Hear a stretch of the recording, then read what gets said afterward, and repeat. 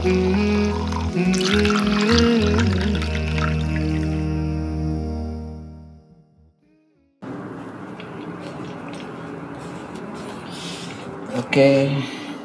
ini dia Oh, terima kasih ya bang. Oke. Oh ya. Loh kok kamu bengong? Apalagi ada masalah? Kayaknya benar-benar ganggu hidup kamu ya. Eh, saya bingung bang harus mulai dari mana. Jadi gini Dit, Eh, bukannya mengajari, tapi cuma sekedar sharing aja tentang kehidupan. Memang terkadang kita apa ya menjumpai fase-fase eh, bosan, nggak tahu arah ke mana dalam hidup kita. Dan itu biasa sebenarnya. Yang penting kita harus tetap tahu apa tujuan dari eh, diciptakannya kita. Kita ke dunia ini ngapain sih? apa cuman sekedar senda gurau? Apa cuman menghabiskan waktu untuk bersenang-senang? Apa cuman untuk mencari uang dari pagi sampai malam? Tentu tidak ya. Karena Allah sendiri Allah sebagai pencipta kita yang mengatakan bahwasanya hal tersebut bukanlah tujuan kita diciptakan jadi di, di dalam surat Az-Zariyat ayat 56 di ayat yang pendek tersebut Allah mengatakan tujuan kita diciptakan di dunia ini. Allah Subhanahu wa taala berfirman, "Wama khalaqtul jinna wal insa illa liya'budun." Dan tidaklah aku ciptakan jin dan manusia melainkan hanya untuk beribadah kepadaku kata Allah. Dari ayat tersebut para ulama, para sahabat Nabi, ya, para tabi'in dan ulama-ulama terdahulu banyak menafsirkannya dengan bermacam-macam tafsiran dan penjelasan. Namun intinya hanya satu, sebagaimana yang dijelaskan oleh Ibnu Katsir ya, di dalam tafsirnya bahwasanya di dalam ayat tersebut Allah Subhanahu wa taala mengatakan tidaklah aku ciptakan jin dan manusia kecuali hanya untuk beribadah kepadaku kata Allah dan sesungguhnya Allah Subhanahu wa taala tidak membutuhkan kita sebagai manusia. Tidak membutuhkan e, ibadah kita. Namun melainkan kita yang membutuhkan Allah. Kita yang membutuhkan rahmatnya. Kita yang membutuhkan hidayahnya. Kita yang membutuhkan agar Allah Subhanahu wa taala memasukkan kita kepada surganya nanti di akhirat kelak. Jadi di dari ayat tersebut sudah jelas bahwasanya kita di dunia ini diciptakan oleh Allah Subhanahu wa taala hanya untuk beribadah kepada Allah Subhanahu wa taala. Karena kita harus yakin setelah kehidupan kita di dunia ini akan ada kehidupan selanjutnya yang lebih kekal, yang lebih panjang. Karena kita tahu bahwasanya hidup di dunia ini adalah hidup yang singkat. Kehidupan yang sangat singkat kalau kita bandingkan dengan kehidupan di akhirat kelak.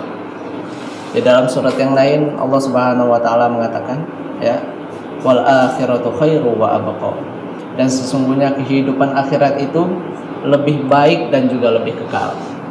Seorang yang pintar, seorang yang cerdas, ketika Allah Subhanahu wa taala mengatakan perbandingan ini bahwasanya hidup dunia ini adalah singkat, sementara sementara kehidupan yang di akhirat adalah kehidupan yang lebih baik dan juga kekal, maka orang yang cerdas dan juga pintar pasti akan memilih kehidupan akhirat. Pasti ia akan fokus dan memprioritaskan hidupnya untuk mendapatkan kehidupan akhirat yang baik. Dengan apa? Tentunya dengan memperbanyak amal. Allah Subhanahu wa taala berfirman, "Wa tazawwadu fa inna khairaz zadit taqwa." Berbekalah kalian kata Allah. Di mana? Di dunia tentunya. Fa inna khairaz zadit taqwa. Karena sesungguhnya sebaik-baik bekal adalah ketakwaan. Dan ketakwaan adalah mengerjakan perintah Allah Subhanahu wa taala dan meninggalkan larangannya. Seluruh yang Allah perintahkan, baik hal tersebut e, diterima oleh akal kita atau tidak. Baik yang diperintahkan tersebut e, kita sukai ataupun tidak kita sukai, maka itu wajib kita lakukan. Karena itu adalah perintah oleh Allah Subhanahu wa taala dari Allah Subhanahu wa taala. Begitu juga dengan larangannya.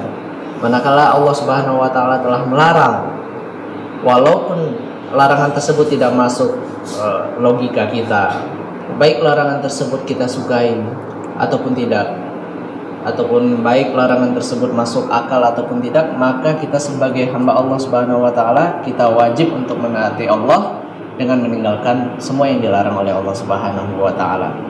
Kan banyak nih contohnya eh, orang-orang sekarang kalau larangan tersebut ataupun suatu syariat sesuai dengan keinginan dia, maka ia lakukan. Tapi kalau seandainya tidak sesuai dengan hawa nafsunya, maka dia tidak mau mengerjakannya. Ini merupakan suatu hal yang salah. Karena kita sebagai seorang muslim, yang mana muslim tersebut artinya adalah seorang yang tunduk. Islam itu artinya adalah tunduk dan seorang muslim adalah seorang yang tunduk. Tunduk atas apa? Atas syariat, atas ketentuan yang diberikan oleh Allah Subhanahu wa taala. Ketika Allah Subhanahu wa taala mengharamkan sesuatu, maka kita harus tinggalkan. Ketika Allah Subhanahu wa taala memerintahkan kita sesuatu, maka kita harus lakukan. Kalau hal tersebut sudah kita lakukan, insya Allah kita akan dipermudah oleh Allah Subhanahu wa taala untuk meraih surga Ya. Yang paling terpenting adalah kita mengetahui tujuan hidup kita. Ya. Yang paling terpenting adalah kita mengetahui tujuan hidup kita di dunia ini. Kita mengetahui untuk untuk apa Allah menciptakan kita di dunia ini. Jadi kalau kita sudah mengetahui bahwasanya Allah Subhanahu wa taala menciptakan kita di dunia ini hanya untuk beribadah kepadanya, maka kita sebagai muslim yang pertama kali kita lakukan adalah menuntut ilmu. Kita harus mencari tahu apa saja amalan-amalan dan perbuatan yang dinilai ibadah di sisi Allah Subhanahu wa taala. Karena ibadah itu sendiri sebagaimana yang didefinisikan oleh para ulama adalah ismun jami' likulli ma yuhibbuhullah wa yarda min min al aqwalin wa af'alin al batinah wa zahirah. Uh, ibadah itu adalah sebuah istilah ya yang merujuk kepada apa apa saja yang disukai uh, ya dan diridhoi oleh Allah Subhanahu wa taala berupa perbuatan, perkataan baik itu secara zahir dan maupun secara batin. Baik itu kelihatan ataupun tidak. Jadi segala sesuatu amalan yang dicintai dan diridhoi oleh Allah Subhanahu wa taala perkataan ataupun perbuatan maka itu adalah bernilai di sisi Allah Subhanahu wa taala. Bagaimana kita mengetahui bahwasanya Allah menyukai ya ataupun ridho terhadap apa yang kita lakukan maka kita harus uh, kembali lagi menuntut ilmu kita harus melihat apa saja yang diperintahkan oleh Allah Subhanahu wa taala. Apa saja yang diperintahkan dan dilarang oleh Rasulullah Shallallahu alaihi wasallam. Kalau sudah sesuai dengan tuntunan Rasulullah Shallallahu alaihi wasallam dan sesuai dengan Al-Qur'an, maka insya Allah apa pun yang kita lakukan yang sesuai tersebut itu akan dicintai oleh Allah Subhanahu wa taala dan bernilai ibadah di sisi Allah Subhanahu wa taala. Paling terpenting kita kalau sudah mengetahui tujuan hidup kita, maka kita melangkah untuk mengerjakan apa saja e, perbuatan-perbuatan yang bernilai ibadah. Dan kalau kita sudah mulai beribadah kita harus tetap menuntut ilmu kita harus mengkoreksi dan memperbaiki seluruh amalan kita dan menyesuaikannya dengan apa yang diperintahkan oleh Rasulullah SAW jadi seperti itu. Hmm, hmm.